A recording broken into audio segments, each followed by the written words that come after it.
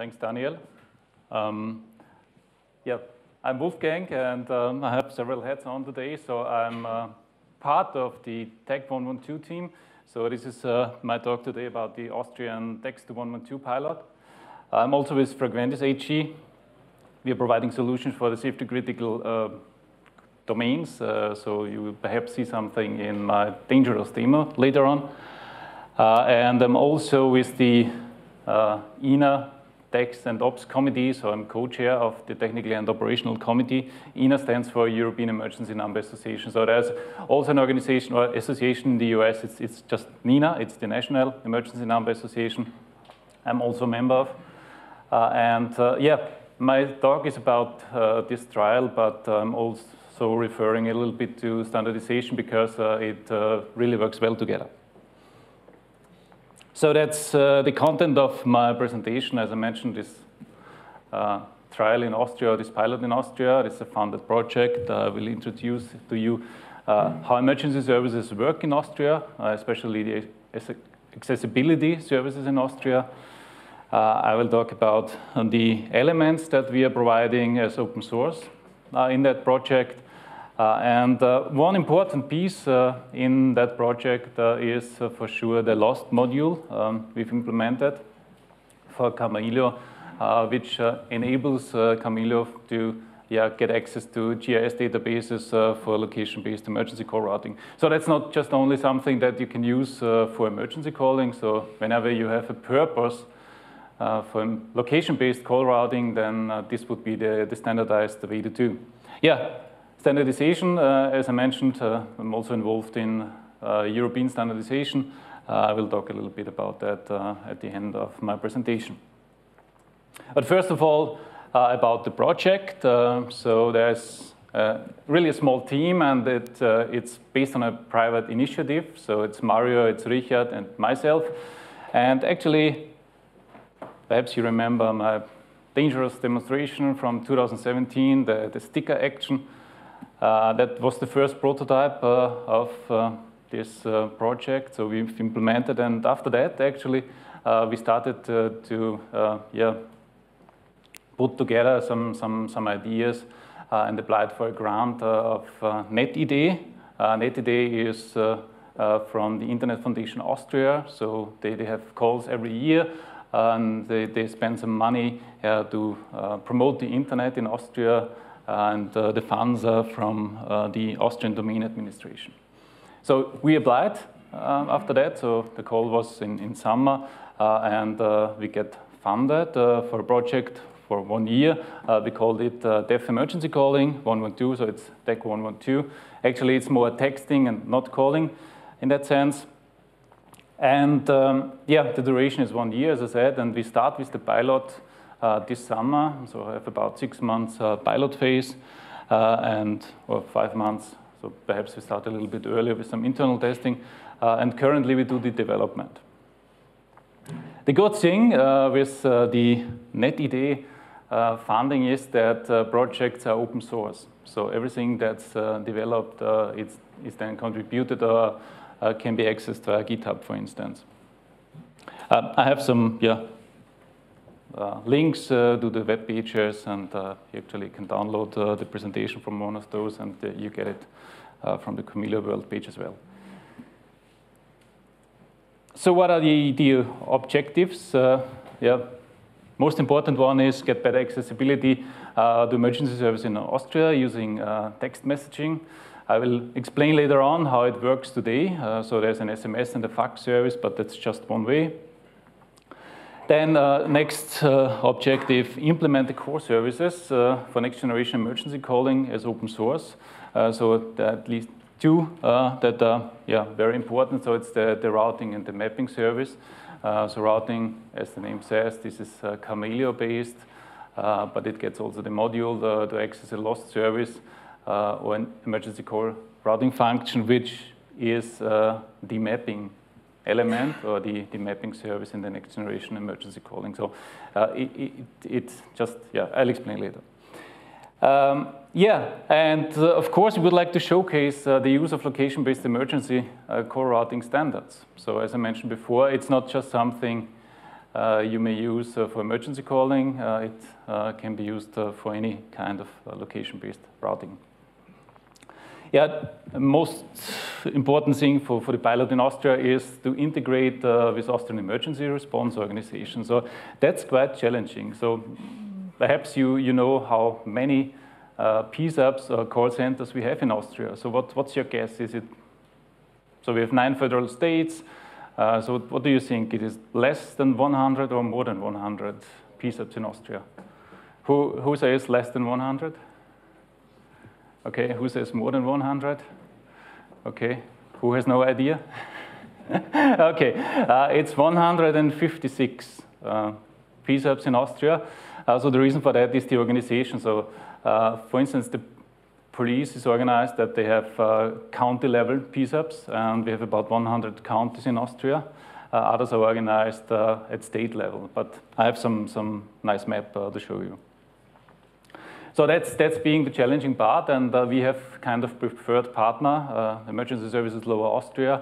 Uh, so this actually was also kind of um, precondition to get the funding that at least one uh, emergency uh, response organization uses uh, our application or uses the system.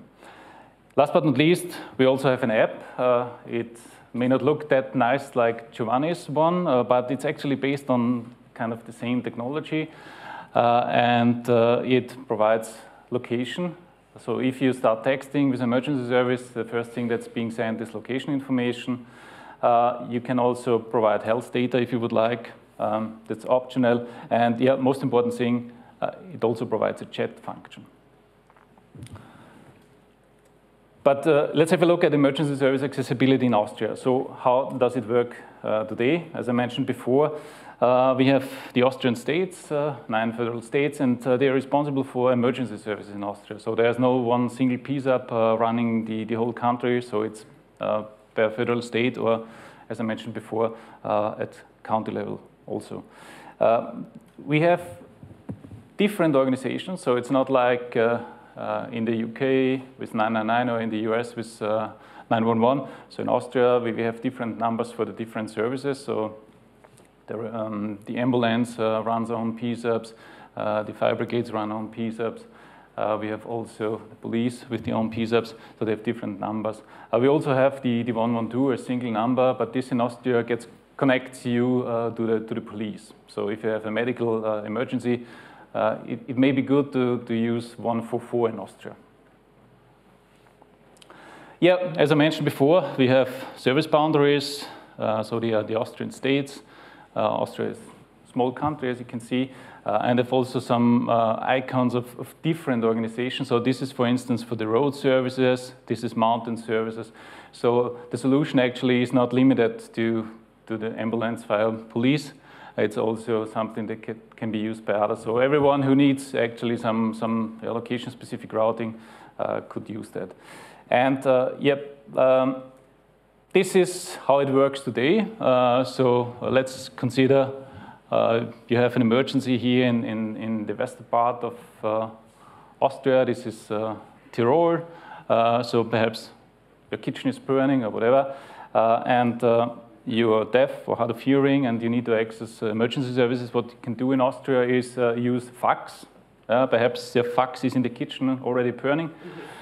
Uh, that's not a good thing. Uh, uh, but you may have your mobile with you, so you can send an SMS to a specific number. Um, but that gets to the federal police uh, sitting here somewhere in Vienna. So that's far away. Um, and uh, perhaps they do not know about the location uh, because they don't get the location with the SMS. So they need to find out, okay, where is your incident? Where is the emergency?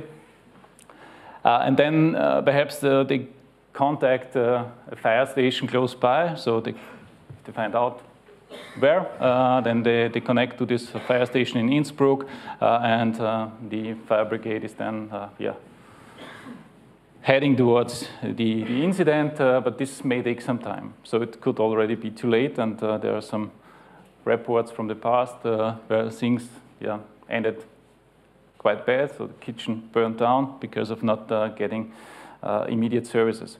Uh, but uh, the good thing is it's, this number works national, it's a toll-free number for the fax and for the SMS, uh, but it's just one way, so actually you don't get really immediate feedback, uh, and they can't ask you uh, for further information. Yep, uh, what we want to do uh, in the project, well, we actually already have the solution, so we, we, are close to the, to the pilot phase. So what we're using is those services I mentioned before, the, the routing and the mapping service. So they are called in, in the uh, yeah, standardization documents, they're called uh, Emergency Service Routing Proxy, ESRP, uh, and Emergency Call Routing Function, ECRF. So this is the GIS part here, uh, and this is Kamailio. Uh, and uh, we also have the application that's kind of yeah, quite simple, easy to use application uh, which allows a direct access uh, to the local emergency services because we use these uh, location-based routing services. So we know uh, about the location uh, and we can route messages directly to the local yeah, PSAP if the PSAP is registered and, and supports the trial as well.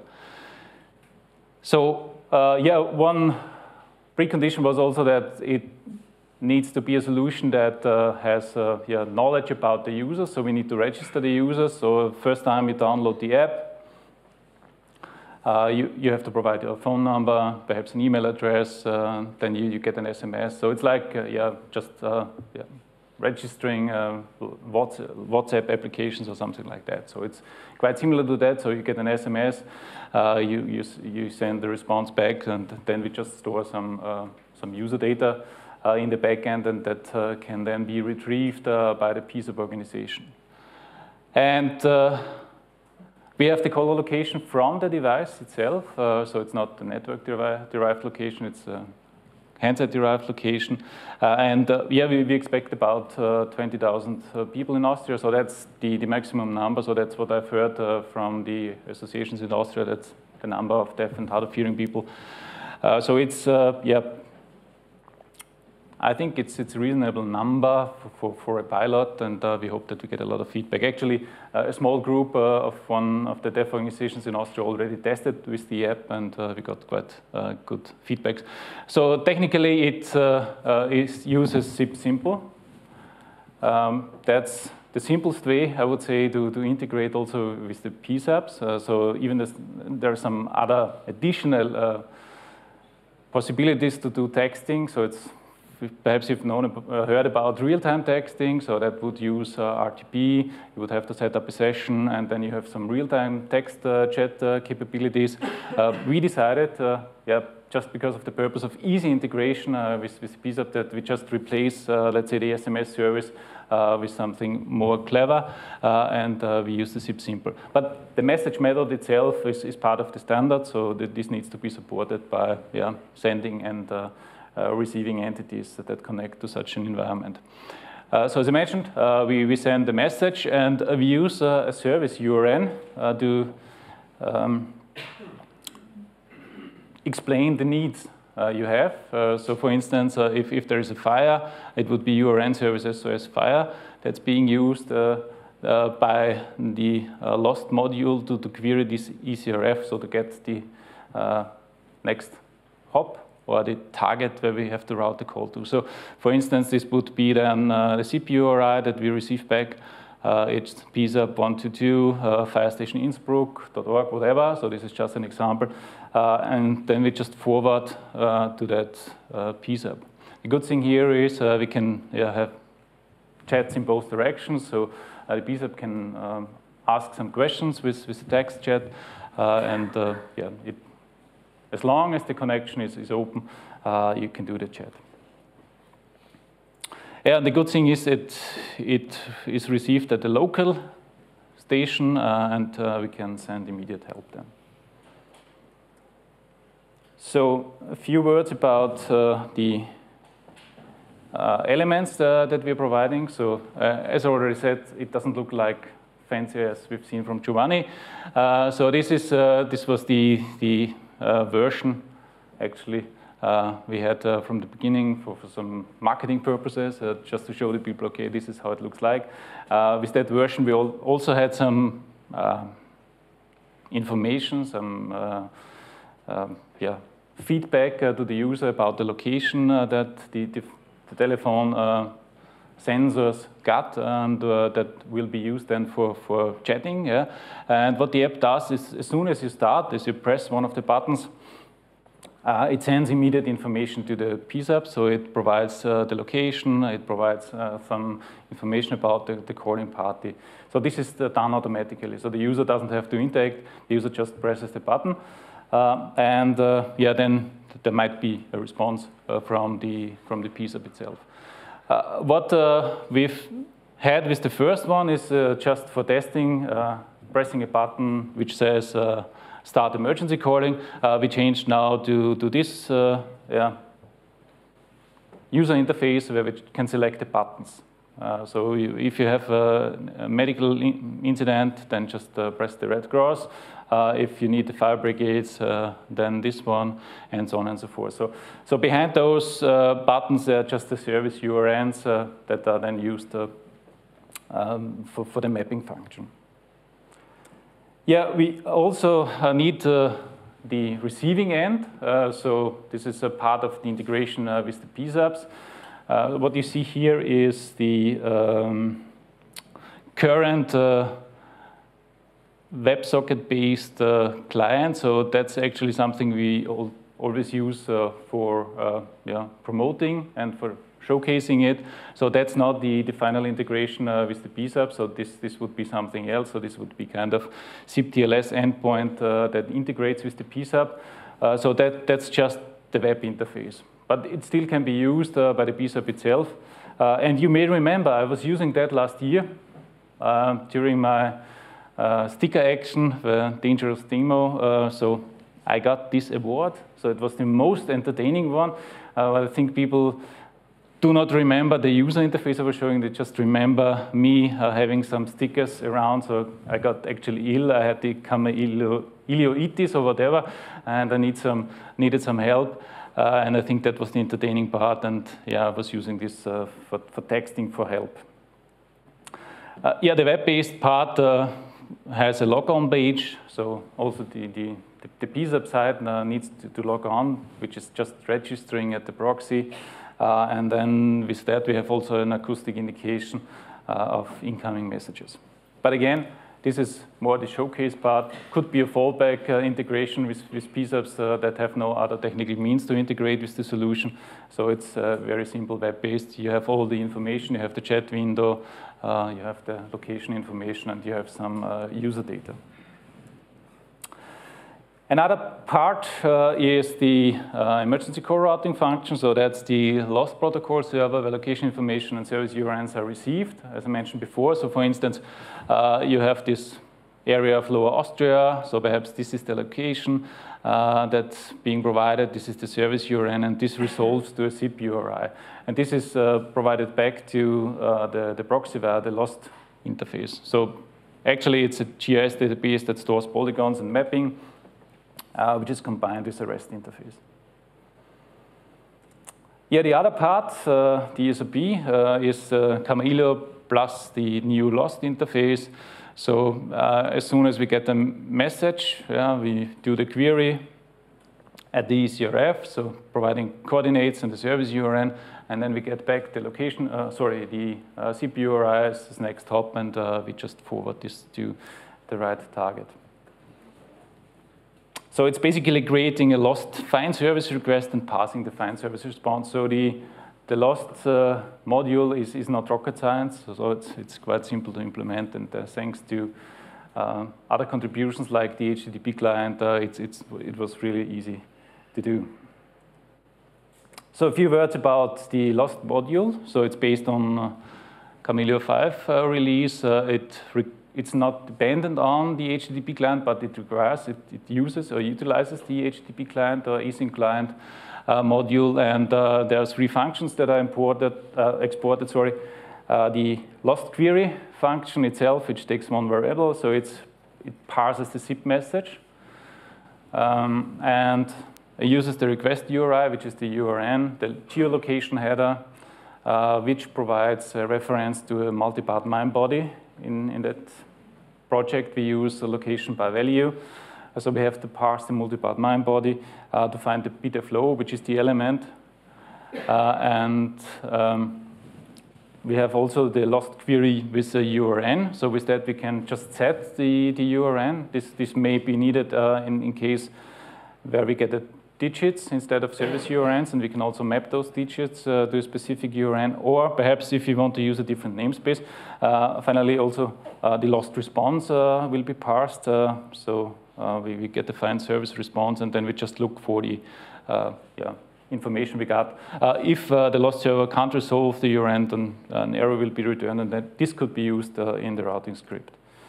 So here's the code snippet. as I mentioned, those functions, uh, for instance, uh, lost query, lost query URN.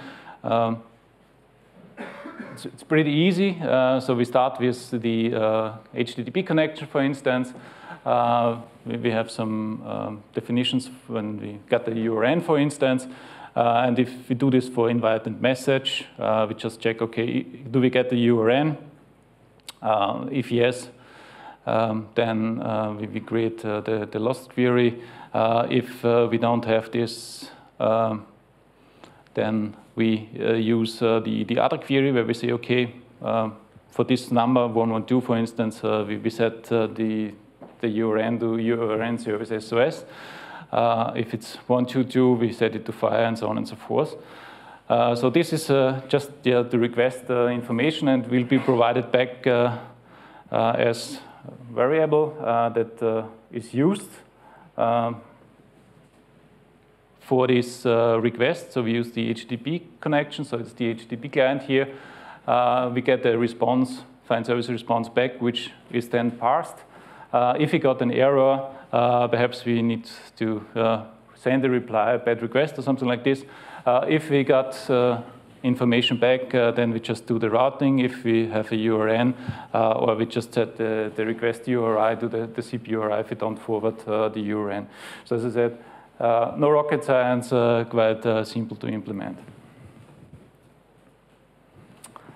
what are the next steps? so we want to integrate a bit more with the HTTP client API. So that's a bit of a trade-off between flexibility, flexibility and comfort. So flexibility means that uh, if you don't do that, um, deep integration, uh, you can select uh, between the async and the uh, synchronous HTTP uh, client. but you have to do something in the, in the script. Uh, otherwise, for instance, if, if we just say, okay, we would the complete lost seeker function being enabled, which means you, you just ask the, the, the, module to provide uh, the URN back uh, without any uh, other things. Uh, yeah, that could be something done with a mode param, whatever. Uh, we need to, to look at that. Uh, we would also like to extend the capabilities. So if you don't get the location information in the, the request, we may also use the location information service and the HELD query to get the location. and yeah, some default values. And yeah, finally, contribute the module after the pilot.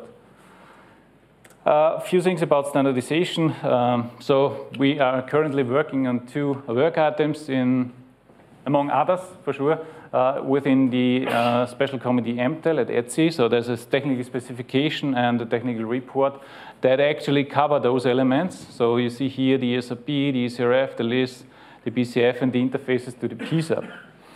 So that's uh, being published by the end of the year, and it's uh, yeah, quite aligned uh, with what, for instance, is being uh, defined in the US by NENA.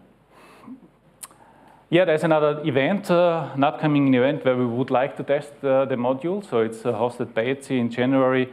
Uh, and with that, we get yeah, also chance uh, for, for, for, testing as well. And I will actually offer this to ETSI. Perhaps they, they, they use it for, for other tests if needed. So it's just as perhaps not as reference implementation, but if, if such elements are missing, you could just use the, the open source variant. Okay, uh, many thanks. Uh, if you have any questions, then just drop me a line. I would love to have at least one minute uh, for the demonstration. Uh, so I've prepared some uh, service boundary for Berlin. you see here that's, that's uh, yeah, with GeoJSON. Uh, you can uh, look into the internet, you find it. So I just defined a service boundary, and you may not see it here, but, but this is the uh, this is the polygon. Uh, it's quite simple uh, shape. Um, and uh, I switch now to to that. I hope it still it responds. So that's connected to the service backend, so the Kamailio, uh, and I have here the app. And if everything works, so it's a bit of dangerous demo, uh, you should see some, some logs, and I would like to explain the logs uh, from the so now I have this, this nice screen, uh, start emergency call. Yeah, you see, I will immediately stop that one. So we get another message. I stop this. Uh, and here you see. I can hear firefighters coming. What? I can hear alarm for the firefighters alarm. Yeah, yeah. Yeah, that's dangerous. Uh, yeah, so that's a lot of uh, information, uh, but perhaps uh, this one I need to discuss with you, Daniel. Uh, so this, this, there's some, some error here. Yeah, yeah, yeah I know. Yeah, that one. It, it's Victor that we need to discuss. okay. Uh, yeah, this, this uh, we, we got a message uh, and then we, we call a lost function. Uh, so this yeah, gets the, the PIDF element. And you see here the location I've provided is, is here. That's, that's somewhere in Berlin. and um, then we create the find service request. So this is the, the XML shown here. Um, so it also contains uh, the location information, and I was just using a, a yeah, test uh, service its URN service uh, SOS Wolfgang or dot Wolfgang, uh, and this uh, is sent to the to the lost server. So there's there's also a lost server running. So this says okay, find service request received, location is Berlin. Uh, this was the URN, and this is the target. So I'm forwarding, or, or this, this would be the target, the call is being forwarded. Uh, then when I'm scrolling down, then you should see further information that we got. So because the find service response is uh, something that also provides the uh, geographic shape. So with, with, the response, we know, okay, this is the area. Uh, and here you see this is the area I've shown you previously in, in the uh, presentation. So that's the service URN again. That's a display name. Uh, here's the polygon, and uh, further down, I guess there should be then the the URI here. Uh, and this is uh, finally passed uh, by the lost module. and here you see is an output from the module again, saying response, the request URI, and the name. Thanks a lot. That's Thank you. Thank you. And there will still be a dangerous demo from a different one. A different, with real firefighters. yes. Wolfgang, I actually checked with the conference center for you. You're not permitted to raise a fire in the conference halls. Okay. Maybe outside okay. by the water, but not in here. Okay. Okay. So we have to move outside. Uh, Wolfgang, can you scroll back and show a URN? A URN. A URN. Yes. I just wanted to stress the fact that all of you that work with any development of oh. SIP stacks, servers, anything, this is not a SIP URI you're used to. But you will, this is used as a SIP URI. So you'll get an invite with this address. It doesn't say SIP colon. It doesn't say SIPS colon or HTTP colon, it says URN colon. We tested this at SIPit, and too many software stacks failed miserably. A SIP software stack should be transparent and handle many different types of URIs, and this will be important if you're going to set your software in a carrier environment. There's RFCs up, I don't remember if you showed a number of those, that explain how to handle this in your SIP software stack. So please update, and I'm looking at Matt. Ah, okay. but it works with Kamailio, yeah? Okay, yeah, it works with Kamailio. I think Klaus was the first one adding it, which is another Austrian, unfortunately not here these days. Maybe one question, because you can grab uh, Wolfgang outside, is the coffee break. We actually have now some croissants for you, because we expected in the morning not so many will be here, so coffee and some sweets croissants around. A question? Anyone? Here, Stefan, you want? Oh. No, then. Oh. Just one uh, question: whether you plan to support fallback via SMS for the uh, app? Uh, yes, uh, thanks for that. Uh, that's that's still the case that we, we have to fall back. Yeah. So if uh, there's no data connectivity, so no data plane available, then uh, the, the app will just uh, yeah open the the SMS Um, and include some or have some prepared text with with the location, for instance. Okay. Thank you, Wolfgang, again. Thank you.